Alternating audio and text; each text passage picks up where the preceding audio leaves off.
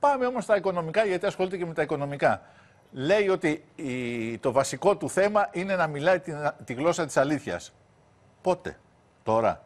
Ο ίδιος αυτός ο πολιτικός αρχηγός, και θα πω ακριβώς τι έχει πει, είχε πει ότι θα πρέπει να έχουμε εμπιστοσύνη για τη λύση του οικονομικού προβλήματος της χώρας μας, της πατρίδας μας, τα ομόλογα του Σόρα. Αυτός το έχει πει. Και μάλιστα είπε ότι η ιστορία του Σόρα με τα 670 δισεκατομμύρια και μάλιστα σε αντίκρισμα χρυσού, λέω τα λόγια Δυστυχώς του. όμως- Τα έχω ψάξει εδώ και καιρό και έχει βασιμότητα. Δυστυχώς